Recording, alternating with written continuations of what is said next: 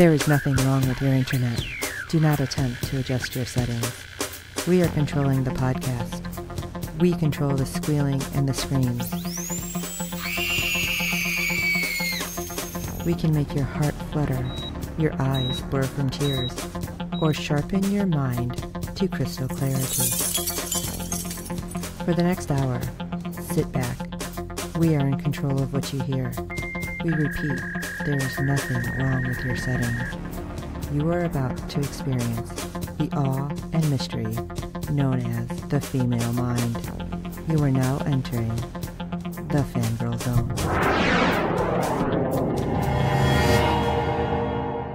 Hello, everyone, and welcome to SyFy Talk on the Fangirl Zone, a podcast where we discuss shows on the Syfy Channel. I'm Sean Fangirl S. And I'm Steve, and tonight we'll be discussing episode one of season five of Killjoys. Holy crap. It's kind of weird because it doesn't seem like it's been five seasons, or well, four other seasons. Right. It just feels like it's all meshing really well. But it's so sad that it takes so long for us to see this awesome show, but I'm so glad it's back. Yes, absolutely glad it's back. I will tell you, I was upset that there was nothing at San Diego Comic Con. They didn't even have them there for a signing. I'm like, oh, come on. Really? Not that I could get in because, like I said, that's like impossible. But but it's like I was really surprised. But at yeah, least we got that they're this. actually giving him a final season to wrap everything up. You would think that that would be the time to have him out there.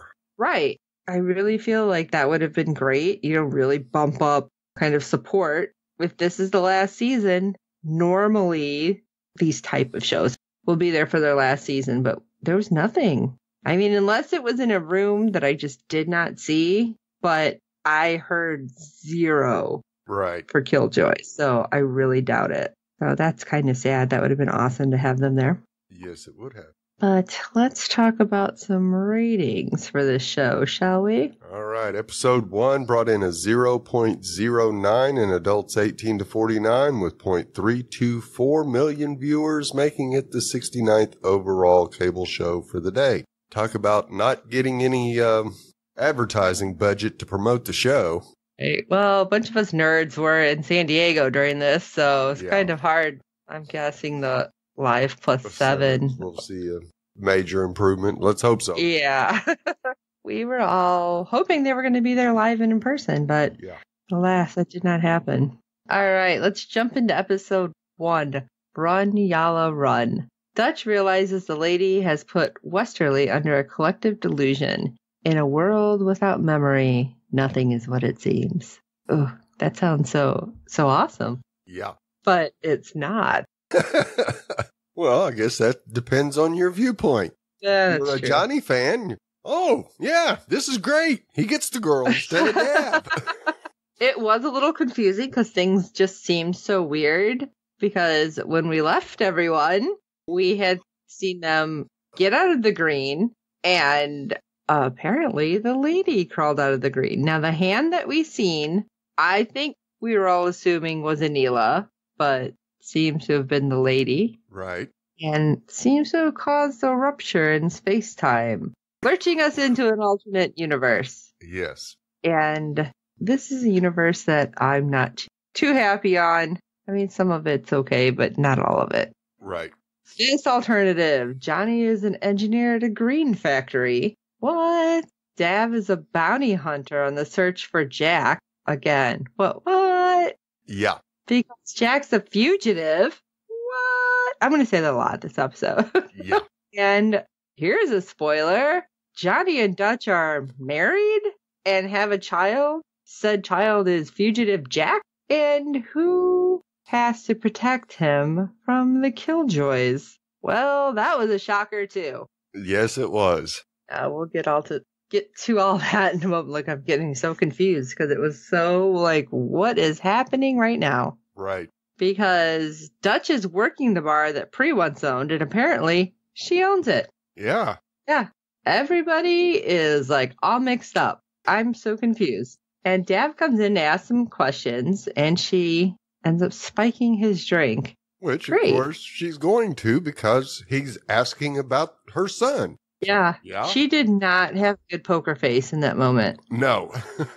Not our Right. normal Dutch, that's for sure. Johnny gets back from his job at the factory and him and Dutch go hop aboard Dav's ship to snoop around. But apparently that quote unquote bad customer sugar that she had put in his drink didn't work because Dav intercepts them and proceeds to ask them questions. Right. And of course, you know, without guns, they're able to discuss Jax, which was interesting. Right. But it was This is- hilarious to see Johnny and Dav stand off against each other. You know, Johnny does get a weapon and Dav just rips it right out of his hand. Oh my god. It's like, You just tried to shoot me.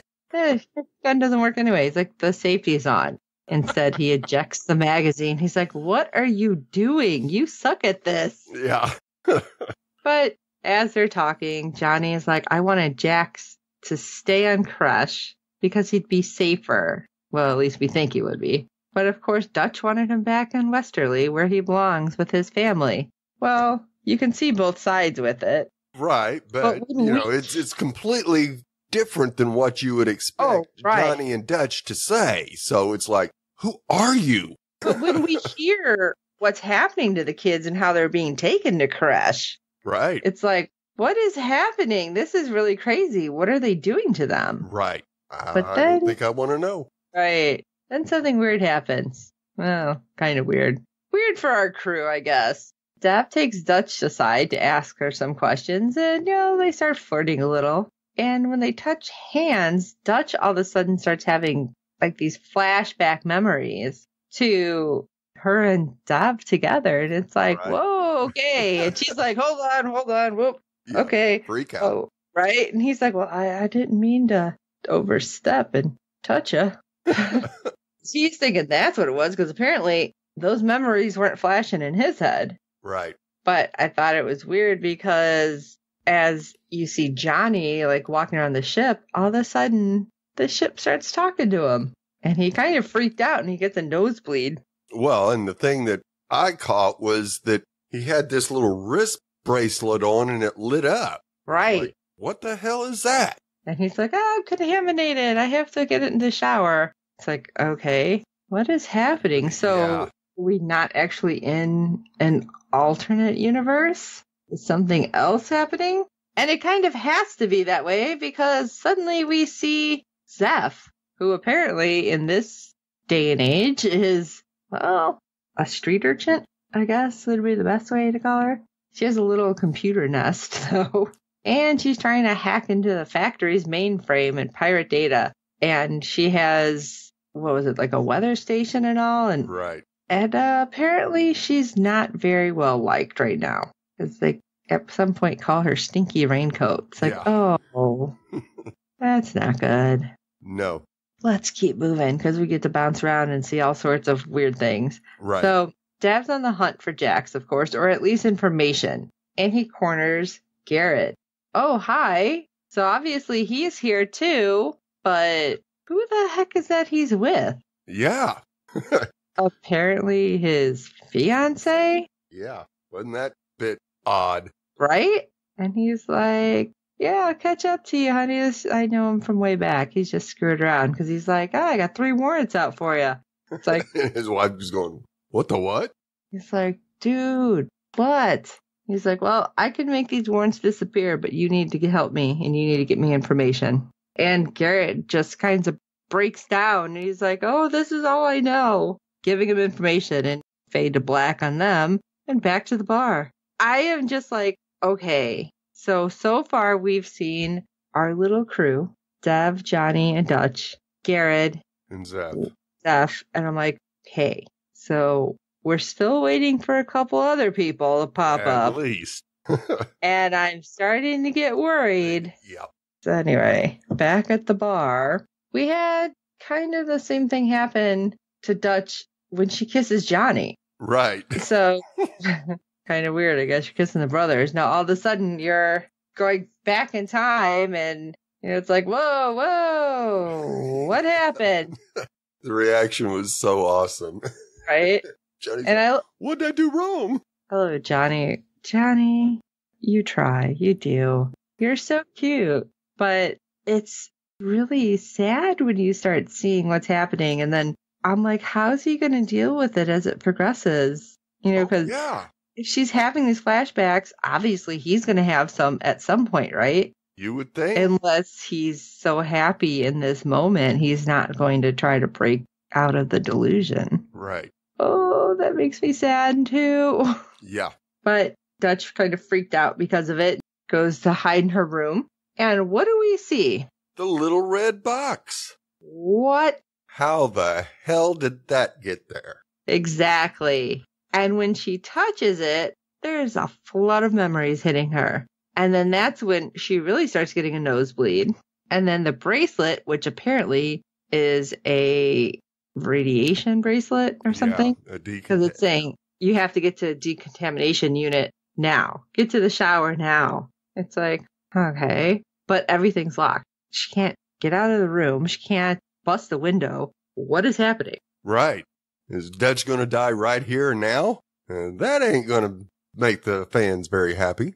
No, I just keep thinking it's something like in the one Resident Evil where it was like constantly being repeated Right. at the beginning. And I'm like, what is happening? This is like some weird simulation, right? Yeah. A really bad Groundhog Day. Right. because, oh, hey, here's another member of our little crew that finally waltzes in. Looking almost I didn't recognize him. exactly. Almost didn't recognize him. You had I'm to like- look twice to go, oh my God, that's Pree. Seriously, till he talked. Yeah. I'm looking at, I'm like, who's this dude with this weird haircut? I'm like, huh, hold on a second. He's a RAC agent? yeah. Excuse me? They just really like, okay, let's just throw these dice all over the table. And, uh, this one will go here. Yeah, let's put this piece over here. It, it was crazy. Right. And hey, he's like, ah, Johnny, we need to talk to you outside. Okay, that's great because Dutch is still having a breakdown because she can't get out and she suddenly sees her entire past as a killjoy. So she's seeing what we know. Right. And I'm honestly starting to question things. I'm like, okay, which is the delusion? Right. Like, are they going to throw us for like a total loop for the last season? And I was really thinking that they were going to do something like that. And I'm Right. really glad that's not They did what not. happened. but it was weird because nobody believes her because Dutch tries to tell Johnny because apparently after she is thoroughly quote unquote well contaminated, not decontaminated, she's Right. contaminated because she has all her memories of her former life. She tries to tell Johnny thinking, okay, maybe he'll remember this and he just thinks it's some weird sex role play game. Yeah. He's all for it. Like, dude, really? And uh, Dutch is like, I'm going to get somebody who has to know. Well, Zeph seems to be a little cuckoo for Cocoa Puffs. Maybe she knows something. Maybe she's known all along. Right. But she doesn't remember her. No. And that's what I was confused about here, too. Because if Dutch was able to, like, break it by not dealing with the decons showers, why is Zeph, who apparently doesn't shower, why is she not, like, remembering anything? It didn't seem to make a whole lot of sense. No, it was a little curious that more than likely she's not one that hits the decon showers very often. Yeah, But- she did. There may be other ways that the lady is keeping them memoryless. So, like, maybe the initial, whatever she did, it has got Zeph, like, on a border. Right. Or she's not quite over the border, so she understands everything, but she's not quite totally under the spell. Right. Yeah, she knows something's going on. Right. Because Zeph does not remember her. No. But she's like, but you know what? Somebody's messing with the climate here. Yeah. And why? Because it rains twice a day, like clockwork, Huh. How does nobody know this? showers and it rains twice a day. right? Hmm. Wonder if that has anything to do with people not being able to remember their true selves. Yeah, and I love it because Dutch is just like, we already terraformed this place. It's like, mm, maybe things are, somebody's trying to change something because they're screwing with the weather. Yeah. Maybe it's some kind of mass hypnosis. Yeah, you could totally just put a tinfoil hat on her. It would have worked. Yeah. exactly. But you gotta love Zeph. She's Right. trying. She is. Because Zeph takes Dutch back to her creeptastic lair. and she's like, let me lay out this hypothesis for you. We are under the control of an outside force. Okay, so theoretically, if you get off the moon, it should break its hold, right? Right. But Pree and Dav, have they never left? So it's like questions, questions. But how long have they been there? I don't think we have that information either at this point. No. Long enough for Pree to grow a whole head of hair. Yeah. That's a heck of a lot of hair. It's so weird seeing him like that, though. right. So used to him looking like super awesome. And he just looked so like he was playing dress up. It looked weird. anyway, so Dutch is like, Zeph, I know who you really are. And she touches Zeph, and Zeph was like, Why are you touching me? And I love it. She's like, Were we lovers in a past Yeah. life? And she's like, No. oh, that would have been cool. Like, yeah. We know you got a lady crush. We know that. But no, it's not what this is right now, darling. No. Oh, but it was funny, like with the back and forth. Yep. But she at least gets Zeph on board because Zeph's like, everyone thinks I'm crazy. And you don't. Right. So she's just so relieved that somebody is listening. Yeah. You know, I, I did love that moment. So let's jump back to Pree again because Dav wants to talk to him. It's like, hey, do you know who this person is? And it's a picture of Delle Seyah Yes. because apparently she's been connected with Jax. And what the hell happened? Because Delle Seyah now seems to be like this badass assassin protecting Jax from all these bounty hunters. And I mean, did they switch personalities or what is happening? Like, I seriously was sitting there and my mouth was just open. I'm like, what? Yeah. Delle Seyah's turned into Mama Hen and nobody's going to get her child. Yeah, she's And- just as bad as Dutch is now. Right? And I love it. And at some point, Dav asked Pree about Garrett, and I'm like, whoa. Because we see some interaction. I think that's a little bit later. And I'm like, hold on. Yeah. Is something breaking through there too? But not quite enough? Eh, it's possible. Well, apparently, Dulcea is on a ship that's orbiting the quad. And so somehow they find out, and Dav teams up with Johnny and Dutch to go find Delle Seyah. And I love it because when they get there, they split up and we see everything that's happening. Right. And we see Jack's like, okay, you're taking too long. All right, this is clear. Delle Seyah's like, can you hurry up? I can only kill so many people. Right. And she kept saying, what if they don't come? He's like, no, they're coming. Don't worry about it. It's like, all right. I'm assuming he's talking about our trio. You would think, but I was kind of worried at first. yeah, well, not really sure. You know, they know that the lady's still after them. True. They don't know for sure what's happened to our crew, I wouldn't think, unless they've managed to gather intel that has informed them that they're back on Westerly. Oh, maybe, maybe they have. Yeah, but they probably know that they don't know who they really are. They got to know something. You would think. You would think. I love it's like I say that, and then it's like, well, yeah. Then there's this. So they'll say end up finding Dutch first, who ended up going off on her own. And of course, talks some smack and then kisses her, just like full on. She's like, I hate you. And I hate that you remind me of Aneela. yeah, And it's like, what? But then she like handcuffs her. It's like, what are you doing? yeah, It's like, all right, I'm getting more confused as this goes on. yeah. Well, you have, that's, you know, I assumed that the reason she handcuffed her to the table was she didn't know if Dutch actually really had her memories back or not, even though Dutch was talking like Dutch. Oh yeah, because she does kind of mention he's. She's like, we aren't affected like you guys are, so Yeah. I we guess we'll take see. a chance. Right, and I loved it because when Dav ends up finding Jack, Yeah. he's like, your mom and dad are just they're coming with. Don't worry. I love he's trying to be really calm and it just is coming off like really awkward. Yes. And I kind of wanted him to have a memory right here too. But if something was going to happen, because Jackson's like, yeah, you're my dad. He's like, no, kid, you're confused. Yeah. no, Dav, you're the one that's confused. Right. And, well, he doesn't get a chance to have a memory because Delle Seyah kind of like zaps him. Yeah. And I thought that was pretty comical too. It was like, hey, mm, he's going down and takes his weapon. So and gets we his fingerprint. So Yeah. it's like, okay, so you have Dav's fingerprints. You have Dutch's DNA because we see her like scrape it off her lips. That was Yeah. weird.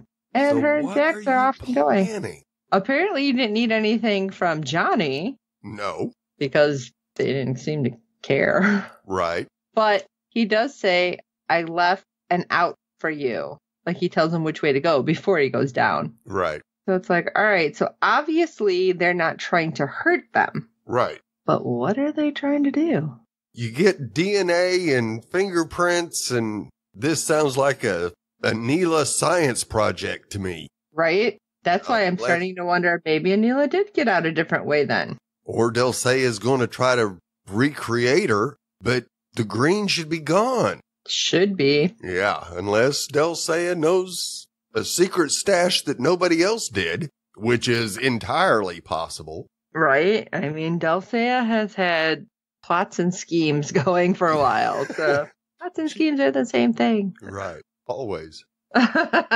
so let's pop back down to Westerly. It's like, all right, let's go back where apparently all the shit's going wrong. But Zeph is apparently had a breakthrough. Yay! She tells Dutch, oh, yes, minds are being controlled, and those bracelets, they're actually monitoring your memories. And when you start to have too many memories of your real life, it goes off because your, I think it was cortisol, Yeah.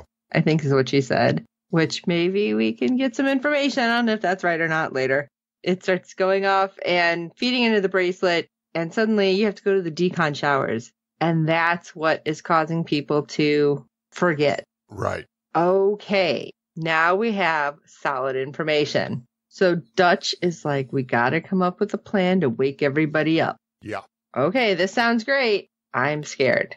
What kind of plan is Dutch going to have? Well, first she goes to Lucy, and apparently this is Dav's ship, and you know, everyone uh, up to this point, I think, until we had heard that moment with Lucy and Johnny, thought it was just a Killjoy surplus ship, not, you know, anything specific. Right.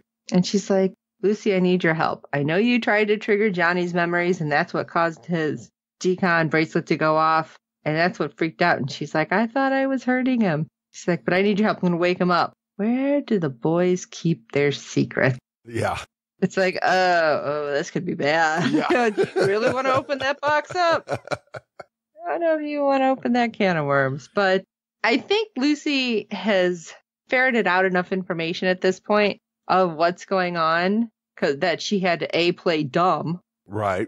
and b knew exactly what to use, Yeah. and this kind of hurt Big time.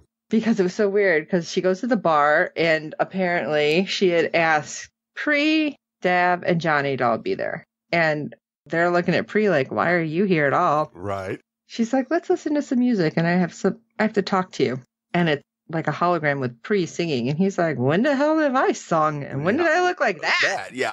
That was amusing. But I'm yes, like, okay, was. is it going to trigger enough? And I was kind of waiting for Garrett to walk in Right. and like that trigger him. But he started freaking out. And then she tells Johnny, This is so bad. You were married. And I'm not even going to go into it because I'll cry. Yeah. And and the whole thing with that, it and he starts having flashbacks. So you have Right. Pree freaking out with flashbacks, Johnny freaking out. And then she tells Dav that you had the worst day of your life one time Yeah. and got your whole squad killed. And he starts having them. And they quite, I don't even know the right word. It was like, well, I know I would have freaked out. They did exactly that. Right. And they run outside out of fear because all of a sudden it's your contamination Right. bracelet starts going on, get to a decon. But she's like, no, it doesn't matter because I sabotaged all of them. But it's raining. And they just stand there getting drenched, looking up. And, And calm like- just comes right over. Uh, when just watching that, I'm like, oh crap. Because then it was like all children in the corn where they turn in unison right. and look Dutch and they're like, we have a warrant for your arrest. I'm like, holy crap. Yeah. like, Yeah. wait a minute. Run, now suddenly Johnny thinks, yeah, Johnny suddenly thinks he's like one of them. What is going on? But Zeph rolls a flash grenade. She's like, hey guys, pow. So good. Dutch can get away. So Zeph and Dutch make a clean getaway, kind of, sort of. Yeah, just kind of. at least for a couple blocks because they duck down an alley and somebody else ends up taking him down and shot Zeph, which makes me wonder okay, whatever in the rain that's doing this mind control, apparently it's something that they can do and change in an instant Right. because everybody suddenly knows that Dutch is on the run. Yes. Yeah. A- Dutch and- immediately became the number one most wanted in all of Westerly. Right. And it's like, oh, well, that's not good because Zeph shot. Great. She needs medical assistance. Who the heck are we going to? Right. Yeah. There's no Potter on this version of Westerly. Oh, don't say Potter. Uh, that about killed me when Dutch starts telling Johnny about that. That's why I kind of yes. skipped some of that. But obviously, Dutch needs to help Zeph because she's like the only person who believes her right now. Right. That isn't after her. And then we Ugh. get the major kick in the ribs as we go up to a ship orbiting the quad. And oh, it's a little girl. Oh, no, it's not. It's the lady in a little girl's body. And She's pressing Khlyen for answers about his daughters. And my jaw hit the floor. where, what, how? yeah, I went through like all of them. I'm like, Yeah. what? Yeah. What happened? Explain that I- to me now. right? I was very Dalek in that moment. Explain, explain. So this was crazy. This was totally a crazy ride yes. because I did not see that coming. I mean, okay, I was hoping that Aneela had been the hand trying to get out. Obviously, it was the lady in some form or another, Right. or or we could be totally wrong. That was Aneela, but in a different place trying to get out. It could be.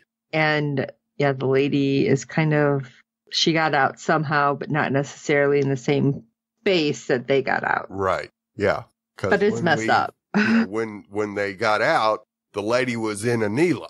So it's like, okay, you know, that's why when you, we see the hand, we figure it's the lady, but maybe it was. I forgot. I did totally forget about that. Yeah. Huh. Maybe it was. You know, I, that my assumption was yes, because nobody, you know, they had thought that Aneela didn't make it out or who they thought was Aneela didn't make it out. And Right. Khlyen wasn't getting out when it turned black that anybody that was in the green was lost, but hmm apparently not. I guess we'll find out. We have to wait for the rest of the season. Looks This like was it's to be a crazy. crazy ride. Oh yeah, this was crazy. And speaking of crazy rides, well, we had somebody else on board because Steve, we got feedback. Yes, we do. The one and only Fred from the Netherlands is back with feedback, so let's take a listen.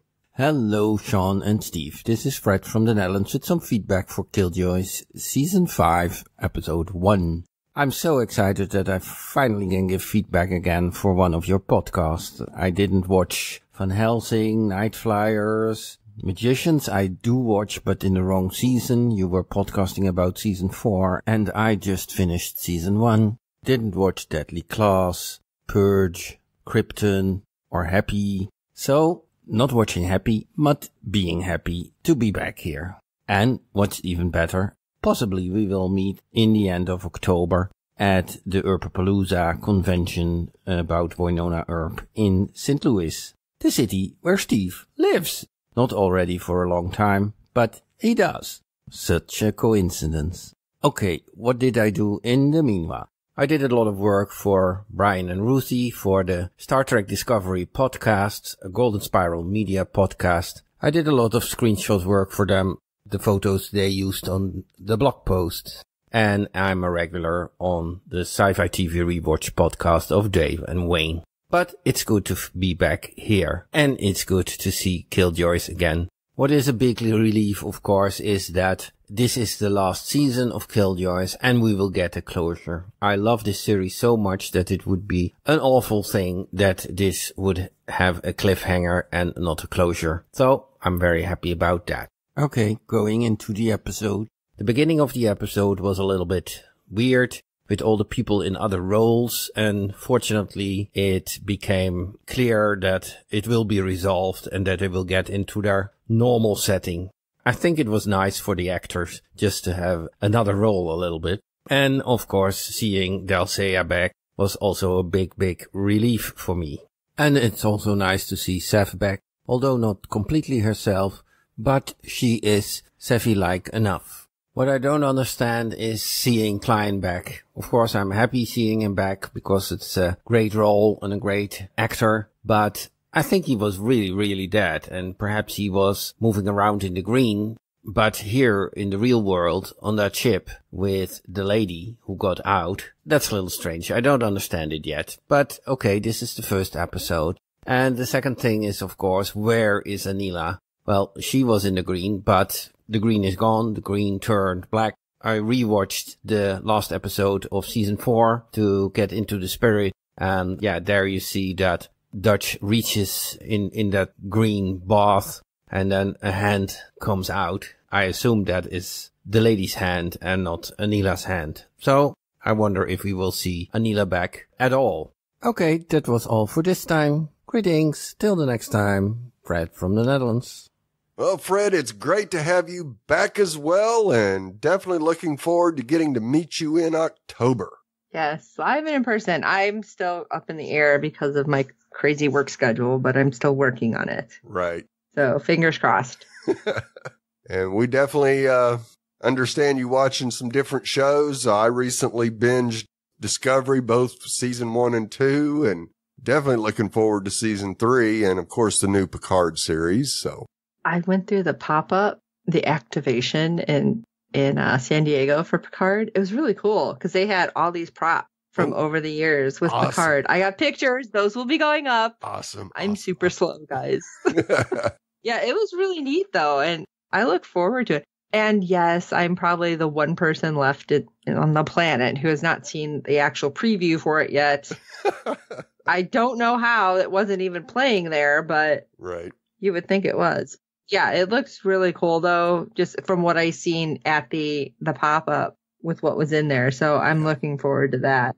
And yeah, Fred, of course, it's awesome that you're back back with us and you've done so much all over the place. So right.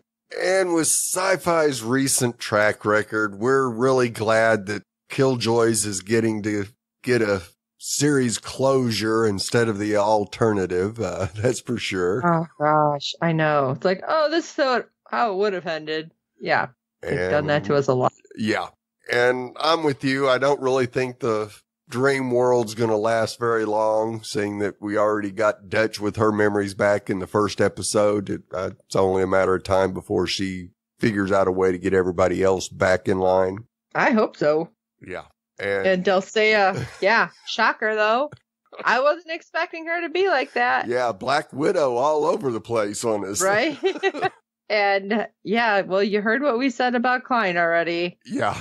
I think we are all in the same boat. Like, what? So apparently, I don't know, it's like Beau Khlyen.